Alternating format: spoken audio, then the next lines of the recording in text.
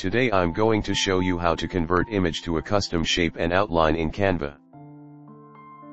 Click Custom Size. After setting the dimensions, click Create New Design.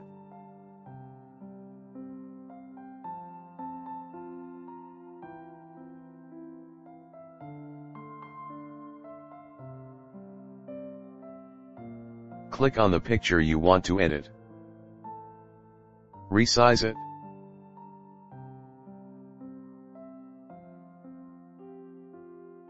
Go to Edit Photo. BG Remover. Go to Tone. Choose any effect you want. I will choose this. Change the two colors to be the same. Click on this color. Copy.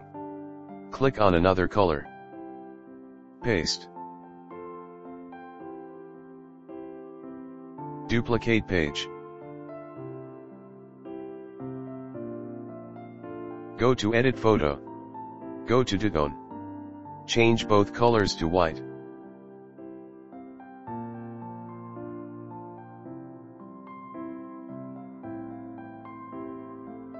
Go to Shadows.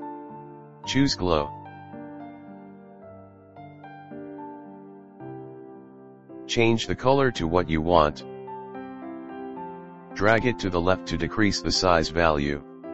Drag it to the right to maximize the intensity value.